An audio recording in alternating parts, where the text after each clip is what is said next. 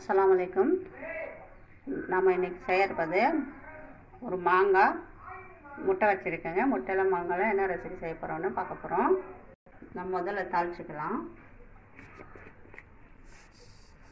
தாளிப்பு எண்ணெய் ஊற்றிருக்கேன் கடுகு சேர்த்துக்கலாம்.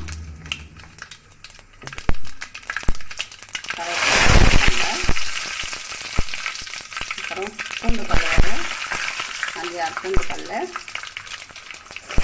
வெங்காயம் மீடியம் சைஸ் ரெண்டு வெங்காயம் சேர்த்துருக்கேங்க வெங்காயம் வதங்கட்டும். உங்களுக்கு குழம்பு எவ்வளோ வேணுமோ அவ்வளோ சேர்த்துக்கலாம் நம்ம. நான் மீடியம் சைஸில் ரெண்டு வெங்காயம் சேர்த்துருக்கேன்.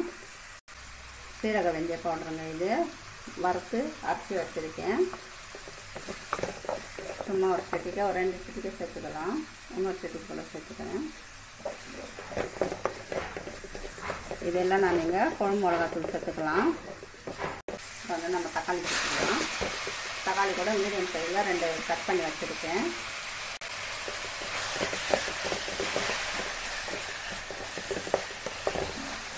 தக்காளி கொஞ்சம் வதங்கட்டும். தக்காளி வெங்காயம் வதங்கிட்டுங்க. நம்ம சால்ட்டு சேர்த்துக்கலாம். தேவையான அளவு சால்ட்டு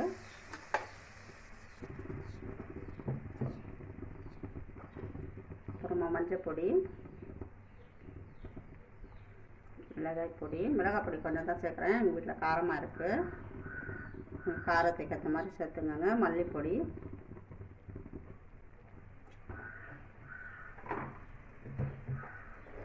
நல்லா வதங்கட்டும்.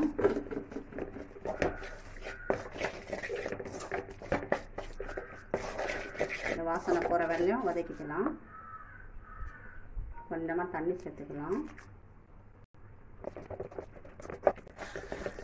இந்த மசாலா வாசனை கொண்டு போயிடுச்சுங்க நம்ம இதில் தேங்காய் சேர்த்துக்கலாம். தேங்காய் அரைச்சி வச்சுருக்கேன். நம்ம ஜார் கழுவி கொஞ்சம் தண்ணி ஊற்றிக்கலாம் குழம்பு கொதிக்கட்டும். இந்த மாங்காய் பா மாங்காய் பீஸ் பண்ணி வச்சுருக்கேன். கட் பண்ணி பீஸுங்க போட்டு. இது வந்து பாதி மாங்காய் தான். நீங்கள் முழு மாங்காய் வேணும்னா போட்டுக்கோங்க. விருப்பம்னா சாப்பிட்றதுக்கு முழுசாக போட்டுக்கலாம். இது நான் பாதியாக தான் போட்டிருக்கேன். இது போடலைன்னா இந்த குழம்பு மாங்காய் இல்லாமல் செய்யணும்னா நம்ம புளி கரைச்சலோ கரைச்சலை ஊற்றிக்கலாம் நான் மாங்காய் சேர்க்கறதுனால புளி ஊற்றலை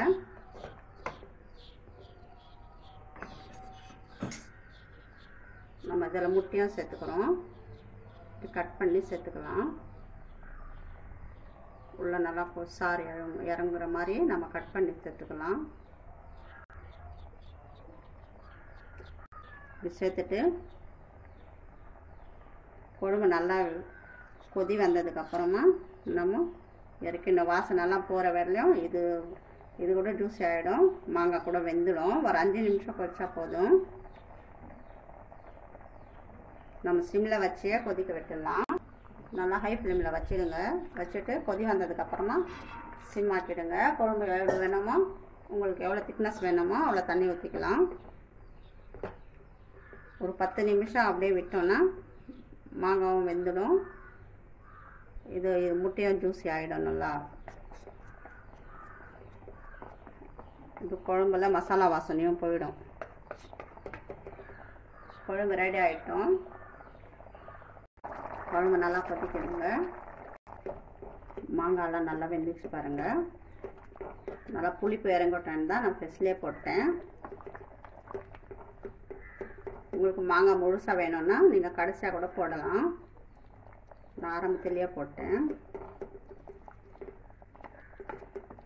மாங்காவோட புளிப்பு இறங்கி குழம்பு நல்லா புளிப்பாக இருக்குது. சால்ட்டு கொஞ்சம் கம்மியாக இருக்குது சால்ட்டு கொஞ்சமாக சேர்த்துக்கலாம். அவ்வளோதாங்க நம்ம முட்டை மாங்காய் குழம்பு ரெடி ஆகிடுச்சு காரக்குழம்பு மாதிரி தான் இது. உங்கள்கிட்ட மாங்காய் இல்லைன்னா இந்த மாதிரி முட்டை செய்யணுன்னா நீங்கள் புளி கரைச்சலை சேர்த்துக்கலாம். அப்புறம் கொத்தமல்லி தலை தூவிக்கலாம்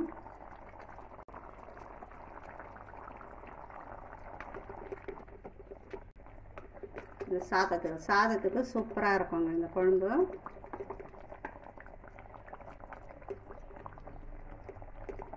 முட்டை கூட பாருங்கள் கட் பண்ணி போட்டதுனால நல்லா ஜூஸியாக நல்லாயிருக்கும்